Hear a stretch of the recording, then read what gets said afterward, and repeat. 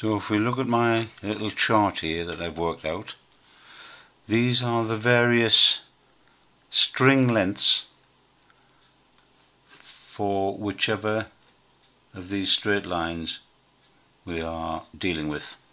So for line 0, which is that one, the string length is 0 of course, because we're right at the start of it. 1, it's 3.0 3025 so we'll do that one first. We need to zoom in a bit. Now if we can imagine a piece of string attached to it well it's it's wrapped around and we're going to unwind it until it forms a right angle with that end of the line so be virtually coming off the end of this radius at a right angle and be the length we're going to give it 0.03025 so the way to do that click your line tool we'll turn off the snap to grid might get in the way. Find the end of the line and there's the start of our line. Now if we tab to the angle, type 90, tab again, that locks that angle to 90. No matter what you do up here, it'll never change to 90. So all we can do now, all we need to do now is type in the length we want, which is 0.03025. Return. And that's our first piece of string. Right in there is the first point of our involute curve. From there to there. So we can do another one.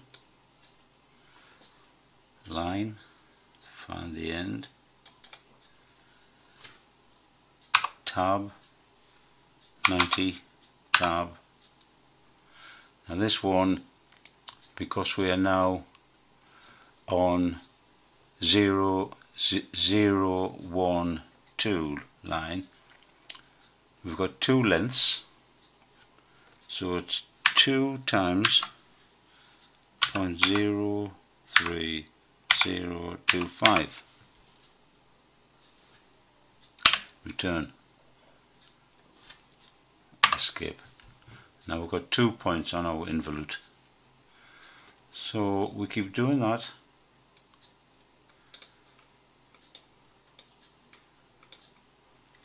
until we go right round our, our lines here. So another one is there, tab 90 tab 3 times point zero three zero two five. I got another one.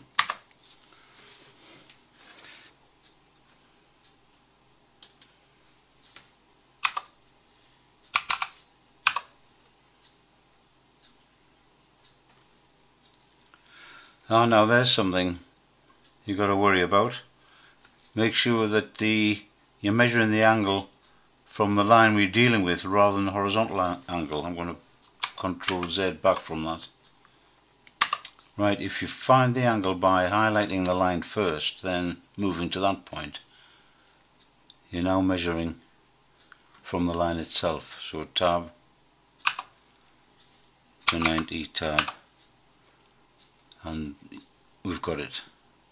So now this line is 0, 1, 2, 3, 4. So our length is 4 times 0.030 return.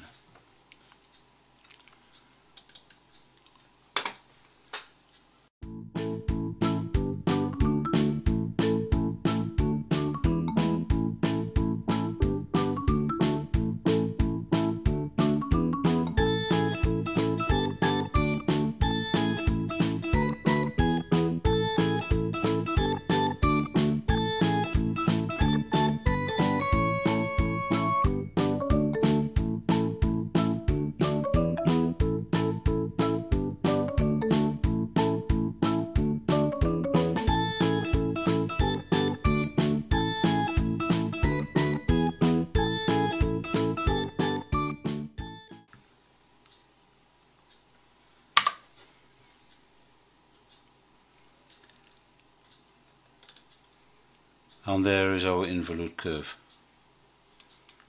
at the end of those lines. And now for clarity we're going to trim away some of these construction lines. So T for trim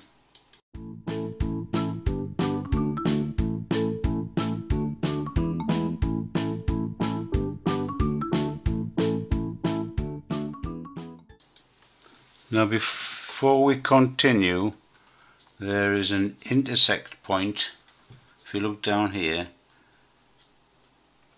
between the center, a line drawn from the center to an intersect point on the curve. We want to find that intersect point which on our drawing is on this line and it intersects the curve as it comes through here. So we put a temporary straight line in there to get an approximation of it. So that crossover is the, the point we want which will eventually give us a point for a line from there to the center of the circle. So we'll still get the line tool, find the center of that, we'll go in a bit further there and we're going to take this line the center of the circle. Uh, now because there are 20 teeth on this gear that means there is 18 degrees between each tooth crown which is 9 degrees for each tooth, 4.5 degrees between the flank and the center line of the tooth. So we need to put that four and a half degree line in from this line. So we'll choose that part of it. So we'll start here and go to our center. And we're getting an angle shown here. Now just to prove that it's angled from the line if we go up to here and choose the line go onto the line it becomes zero degrees. To the horizontal it is 4.42 degrees. So we know we're measuring to this line. So we want a degree angle of 4.5 so we'll tab to the angle 4.5 and now let's fix that so we'll click on up we're finished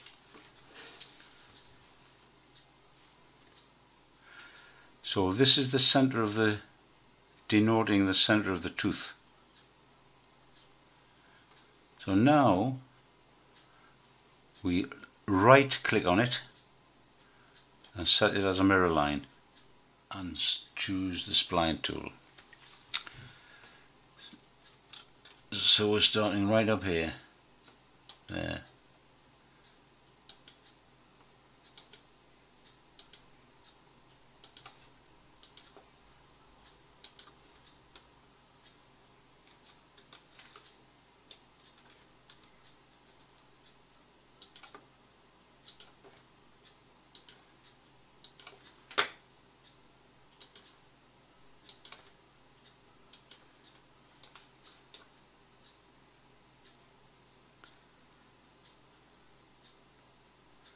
Well, we don't need that one. I don't know why I put 15 in because we don't need that one. We, actually, we don't need these these three at the end. So I'm going to end it there and skip.